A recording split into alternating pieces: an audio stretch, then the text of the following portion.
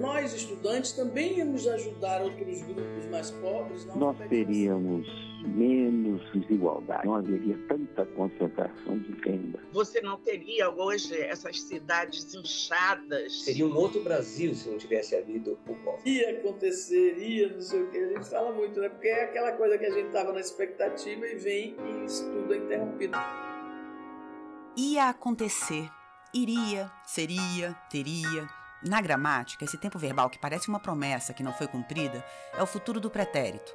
Um futuro que não deu certo, que ficou no passado sem nunca ter conseguido virar presente. Eu acho que 1964 interrompeu um processo de país. Eu não tenho nenhuma dúvida disso. 1964 interrompeu um processo de país Desde que começamos a ler e entrevistar as pessoas sobre os 60 anos do golpe que submeteu o Brasil a 21 anos de ditadura militar, essa ideia da interrupção sempre esteve presente. E com ela, muitas perguntas. Que projeto estava sendo colocado em prática e foi interrompido? Quem não quis que esse projeto virasse realidade? E o que foi construído no lugar? Qual futuro foi interrompido antes do tempo? Eu sou Eliane Gonçalves. Eu sou Sumaia Vilela e essas perguntas nós vamos tentar responder a partir de agora. Ajudaria. Parece demais. Poderia ajudar. Transporte público. Escolas. Podia mudar mais. Poderia ser melhor. Sabia investir. Educação, moradia. Impostos. Qualidade de vida. Informação. Investiria em educação. Saúde também. Um país melhor, né? Distribuiria. Alfabetizaria. Seria. Cresceria. Deveria. Teria. Desenvolveria. Educação. Alfabetização. Reforma agrária. Desigualdade social. Estatização. Petróleo. Moradia. Reforma fiscal. Golpe de 64. Perdas e danos. Primeira temporada, Futuro Interrompido. A lista de presença acusa o comparecimento de 152 senhores deputados e 26 senhores senadores, achando-se, portanto, na casa 178 senhores congressistas. 178 congressistas. Somando senadores e deputados federais, o Congresso Nacional tinha 634 parlamentares. Quer dizer, a sessão convocada às pressas no dia 1 de abril de 1964 não chegou a reunir nenhum terço do parlamento. Brasília estava sitiada, estradas e o aeroporto fechados naquela quarta-feira. A presente sessão das casas conjuntas do Congresso Nacional foi convocada a fim de que esta presidência pudesse fazer uma comunicação. Já estamos na madrugada do dia 2 de abril. Esse aí é o senador Auro de Moura Andrade, presidente do Senado, opositor do presidente da República, João Goulart, e filho de um dos maiores fazendeiros do país. Tinha até moda de viola para falar do pai de Auro. É só chegar lá em Andradina e perguntar pelo rei do gado. Pois bem, foi o filho do rei do gado quem conduziu uma sessão tumultuada e a jato. Eu peço licença ao nobre deputado. Eu peço licença. Ao... Eu não posso permitir que o nobre deputado prossiga numa questão de ordem que não diz respeito à ordem dos trabalhos da casa. Os ânimos acirrados não eram por acaso. Naquele momento havia um golpe de Estado em marcha, literalmente. No dia 31 de março, cerca de 6 mil soldados, comandados pelo general Olímpio Mourão Filho, tinham saído de Juiz de Fora, em Minas, e vinham marchando pelo que hoje é a BR-040, em direção ao Rio de Janeiro, numa rebelião para derrubar o presidente João Goulart. Aquela sessão no Congresso Nacional, pouco mais de 36 horas depois do levante, tentava dar um ar de ilegalidade ao golpe.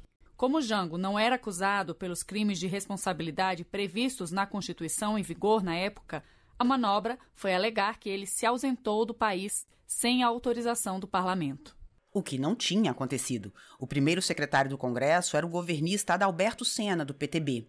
Ele até leu a mensagem do ministro-chefe da Casa Civil, Darcy Ribeiro, para avisar que o presidente estava no Brasil e se organizava para resistir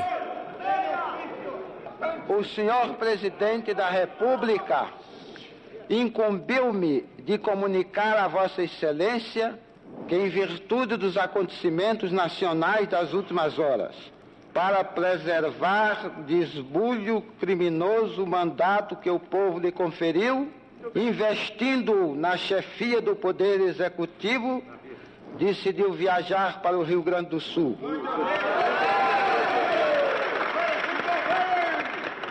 Onde se encontra à frente das tropas militares legalistas e no pleno exercício dos poderes constitucionais com o seu ministério.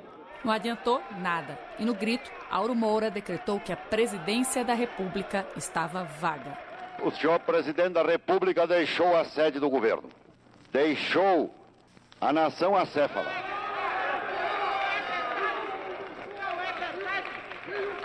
Numa hora gravíssima da vida brasileira, em que é mister que o chefe de Estado permaneça à frente do seu governo.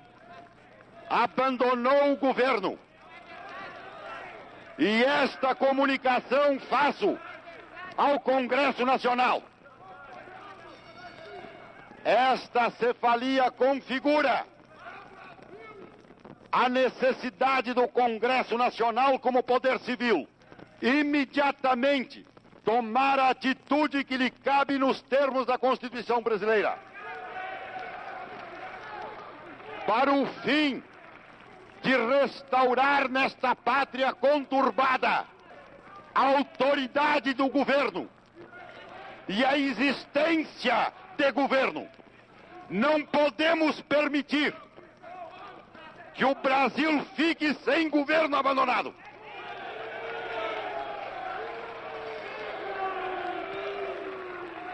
há sob a nossa responsabilidade a população do Brasil, o povo, a ordem.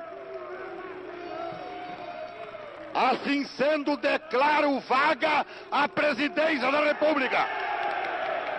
Jago continua presidente.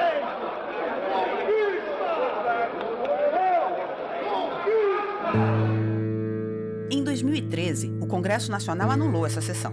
Um ato simbólico para mostrar que o nome do que aconteceu em 1964 é golpe mesmo. O que não tem jeito de anular é o tempo que passou. Faz 60 anos que esses acontecimentos entraram para a história.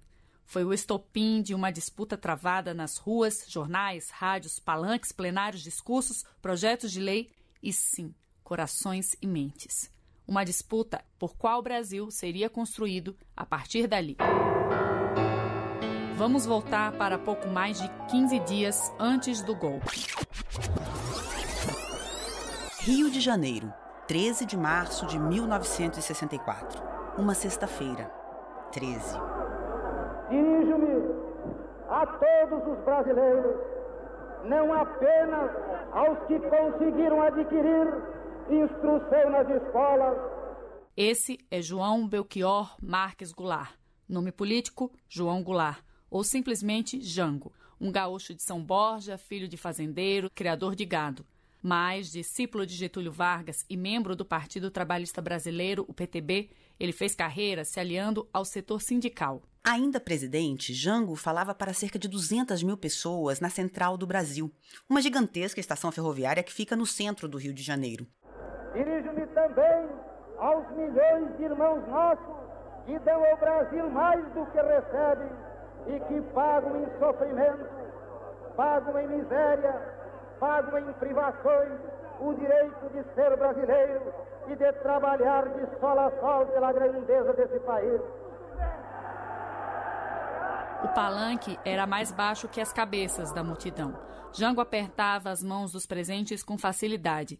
Com ele estavam a primeira-dama, Tereza Goulart, o deputado Leonel Brizola, o governador de Pernambuco, Miguel Arraes, José Serra, na época presidente da União Nacional dos Estudantes, a UNE, vários ministros e outros políticos da base do governo. Chegou-se a proclamar trabalhadores brasileiros da concentração.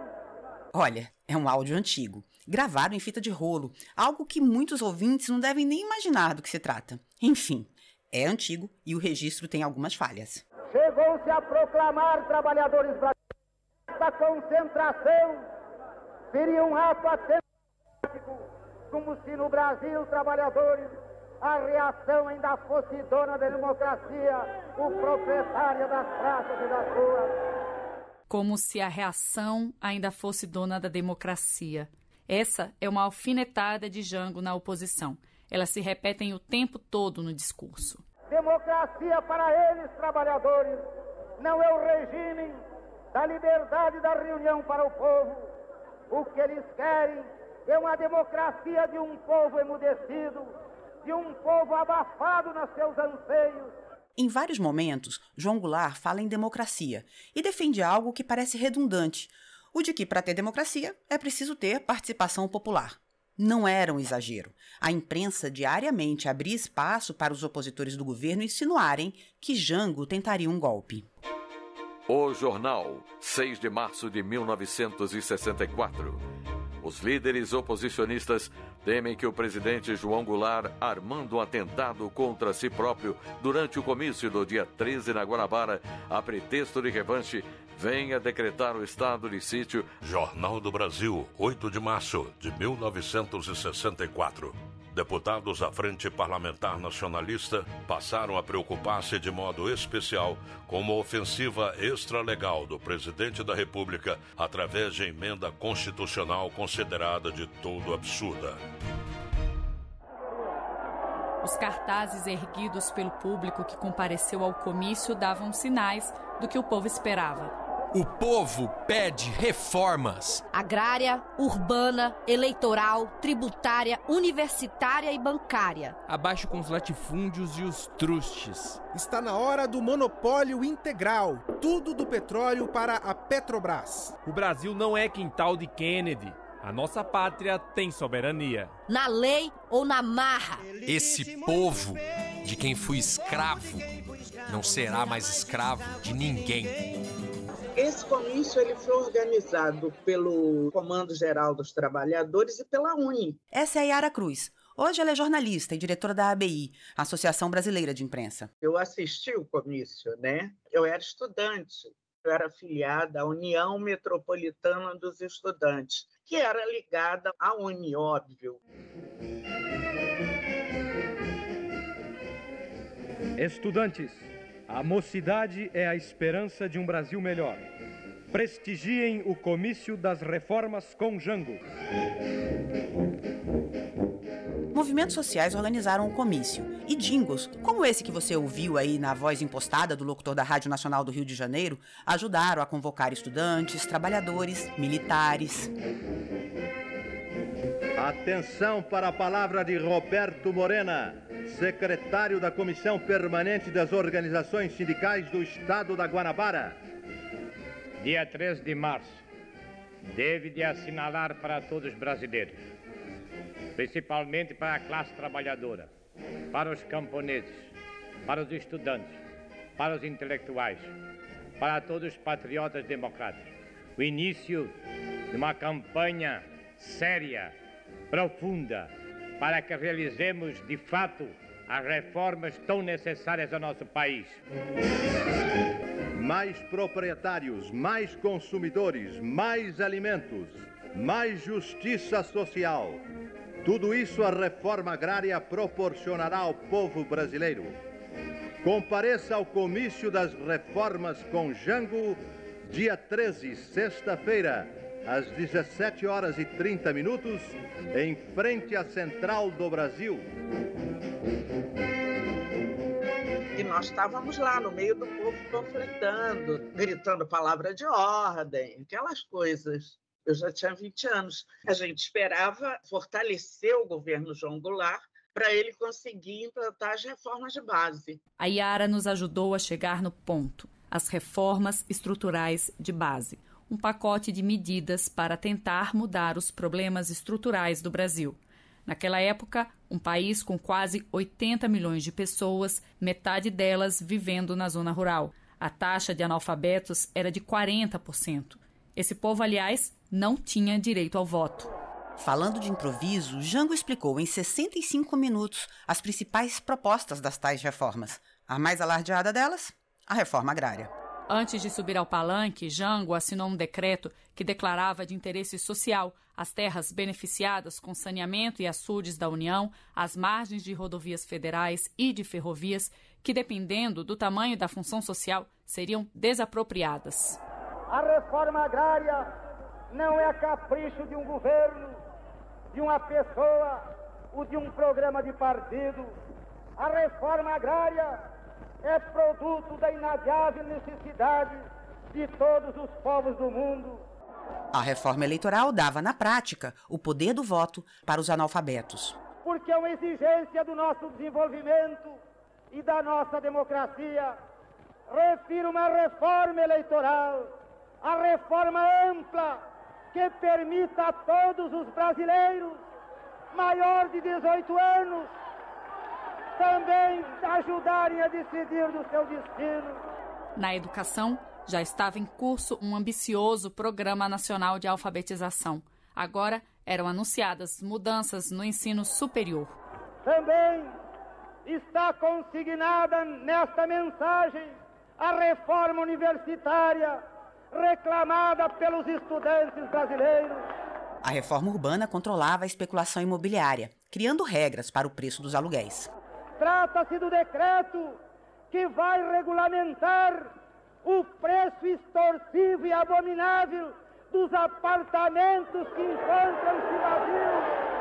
No campo econômico, Jango assinou no mesmo dia um decreto para encampar, quer dizer, estatizar as refinarias de petróleo particulares em solo brasileiro, em benefício da Petrobras.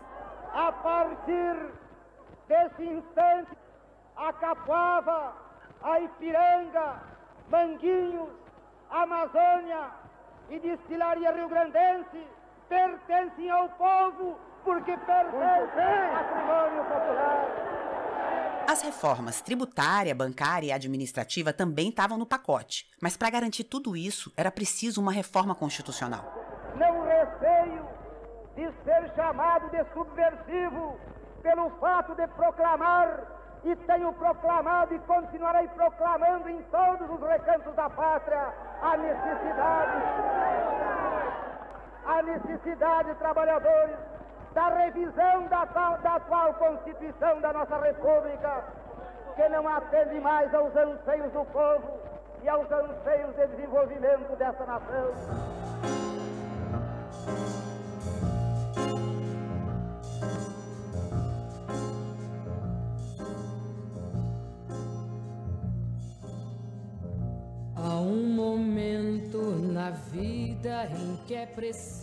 As propostas davam esperança a jovens como Carlos Moura, na época, um advogado recém-formado. Eu tive a oportunidade de ver o espaço em frente à Central do Brasil lotado, lotado, lotado de gente que foi aplaudir o presidente João Goulart. Eu tinha 24 anos eu advogava para camponeses e militava no sentido da reforma agrária, que é uma reivindicação pela qual muitos brasileiros e brasileiras lutam até hoje. É falando dessas propostas que historiadores como Daniel Arão, professor da Universidade Federal do Rio de Janeiro, acabam voltando a conjugar aquele tempo verbal melancólico, o futuro do pretérito. Eu valorizo muito esse programa das chamadas reformas de base, ele, de modo geral, é, é muito subestimado pelos estudiosos, que consideram que é, era um projeto muito retórico, um conteúdo pouco preciso. É, eu penso ao contrário. O programa das reformas de base, caso aplicado, iria transformar profundamente o país. Era um projeto de Brasil alternativo ao que afinal prevaleceu com a ditadura. Teria condições de construir um país mais justo, mais solidário, e mais democrático também. Claro que as tais reformas não iam agradar todo mundo, mas para o historiador Rodrigo Pato, da Universidade Federal de Minas Gerais, era preciso algo a mais para unificar a oposição. A ideia de fazer algumas reformas sociais afetou alguns grupos conservadores, alguns grupos de direita e mobilizou esses grupos contra algumas das reformas eh, de base. Mas é o que eu digo, e eu digo isso há 20 anos, é que o elemento que uniu a todos os grupos que deram golpe não foi uma oposição às reformas em si. que uniu esses grupos foi uma oposição aos grupos de esquerda, ao governo João Goulart e aos movimentos sociais orientados pelo campo progressista. Já as provas de que as reformas tinham apoio popular ficaram por anos trancadas em alguma gaveta. Uma pesquisa do Ibope feita dias antes do golpe mostrava que quase 70% dos entrevistados aprovavam as propostas. O levantamento ouviu moradores de São Paulo e foi encomendado pela FEComércio, que reúne os sindicatos patronais dos setores de comércio e serviços. Só que essa pesquisa foi tornada pública somente 40 anos depois. Mesmo assim, muitas pessoas apoiaram o golpe. Olha o Daniel Arão, da UFRJ, aí de novo, falando sobre essa aparente contradição. Porque houve ali, do ponto de vista das direitas, né, a capacidade de mobilização do povo para dizer ao povo que o que estava em discussão não era a ordem brasileira, era a civilização cristã. E aí infundiram o medo ao comunismo e as forças progressistas não souberam defender da melhor maneira. E quem queria deixar tudo como estava, apelou para um fantasma que, na época, assombrava meio mundo. Eram tempos de Guerra Fria. O mundo estava dividido em dois. De um lado, os Estados Unidos, do outro, a extinta União Soviética. E o comunismo encarnava o maior inimigo do Ocidente. Isso está profundamente ligado não só à divisão do mundo em duas partes, né, a parte capitalista e a parte é, comunista. Esse é o professor de História da Universidade Federal de São Carlos, João Roberto Martins, que estuda o militarismo no Brasil. Mas também está ligado ao fato de que, desde a fundação da Escola Superior de Guerra, final dos anos 40, entrou no Brasil com muita força um conjunto de ideias chamada Doutrina de Segurança Nacional, e que dizia que a principal luta que dividia o mundo era a luta da civilização cristã contra o comunismo. Comia criança. Essa é isso que a mãe falava, que o comunista ele comia criança. O fotógrafo Jorge Araújo tinha 15 anos em 1964 e não se esquece do que significava qualquer sinal de proximidade com o sistema político dos bolcheviques. Isso era pregado para todas essas crianças. E eu disse que falei para ela que era comunista, ela, ela bateu na minha boca. Nunca minha mãe tinha gostado a mão. Meu filho, não diga isso. Sabe fake news? Elas não foram inventadas pelo tiozão do Zap. Mas precisava mesmo disso? De novo, Rodrigo Pato. Eles não teriam conseguido derrubar o João Goulart e fazer o golpe daquela maneira se, o, se a, o tom dominante fosse abaixo as reformas. Por isso que o tom dominante era abaixo o comunismo, abaixo a subversão, abaixo a desordem. Isso unia, né? desde o fazendeiro reacionário até figuras de classe média urbanas, né, que não eram contra distribuir terras. É nesse contexto mais complexo em que as reformas de base estavam inseridas. E não tem aí como esquecer o apoio dos Estados Unidos ao golpe. E houve ação direta. Primeiro com diplomacia, o caso da Aliança para o Progresso, um acordo de cooperação feito em toda a América Latina, com uma agenda que até lembrava as reformas de base: reforma agrária, industrialização, fim do analfabetismo. Mas a prática era assistencialista. Distribuir alimentos, sobretudo leite em pó, era um leite horrível, meu. Não diluía nem a pau dentro do café. Mariluce Moura foi presa e torturada na ditadura. Hoje ela é um dos principais nomes do jornalismo científico no Brasil, mas lá nos idos de 1960 era uma adolescente de classe média baixa de Santa Luzia do Lobato, subúrbio de Salvador distribuir alguns alimentos básicos ali na população de baixa renda. Foi um trabalho intenso feito nas periferias urbanas do Brasil. E quando o golpe foi consumado, teve até navios e aviões preparados para zarpar dos Estados Unidos para o Brasil, caso houvesse resistência. A Operação Brother Sam. Os Estados Unidos também influenciaram parte dos militares. A parte, claro, que deu o golpe. Mas, segundo o professor João Roberto Martins, naquela época havia no Brasil também o militar progressista. Havia uma divisão profunda dentro dos militares. Uma que depois iria se chamar Cruzada Democrática, que deu o golpe de Estado. Para eles, o principal problema do mundo era o avanço do comunismo. Então, naturalmente, eles eram favoráveis a uma aliança com os Estados Unidos e eles também eram favoráveis à entrada de capital estrangeiro para, vamos dizer, o que eles chamavam de promover o desenvolvimento nacional. Mas havia uma outra ala que ela desapareceu, porque ela foi duramente reprimida a partir do golpe, e hoje em dia não existe no exército uma ala progressista, aonde dentro inclusive havia um ou outro oficial comunista, Mas, de um modo geral, a ala nacionalista ela era favorável à autodeterminação dos povos, inclusive do Brasil. Ela participou ativamente da campanha do Petróleo é Nosso, pela criação da Petrobras, e ela fez parte do grande movimento nacionalista popular que existiu até o momento do golpe e que foi derrotado pelo golpe. Tinha militar progressista até entre os generais, mas o caldo entornou mesmo foi com os militares de baixa patente. Com soldos baixos, condições de trabalho precárias e sem direito ao voto, eles vinham se insubordinando. E o apoio de Jango a esse grupo ajudou a acelerar o golpe. E falando de militares e comunismo, aqui a gente precisa dizer que havia, sim, comunistas apoiando as reformas de base. Um exemplo que une esses dois mundos é Luiz Carlos Prestes, esse personagem quase mítico da história brasileira e que pressionava pela esquerda o governo de Goulart. Mas esse fato está longe de indicar que havia uma influência predominante dos comunistas no governo. Como frisa Rodrigo Pato, Goulart nunca foi comunista. O João Goulart era um político trabalhista da escola do Getúlio Vargas, que era a favor de distribuir um pouco de renda, era a favor de melhorar salários, direitos dos trabalhadores. Pato continua a falar sobre o perfil do Jango no nosso próximo episódio. Será a vez de voltar um pouco mais no tempo para lembrar. O golpe não começou em 13 de março no comício da Central do Brasil e as reformas de base não eram uma novidade. E se a esquerda coloca o bloco na rua para defender o projeto, a direita reage e aposta nas mulheres como a linha de frente da mobilização popular conservadora.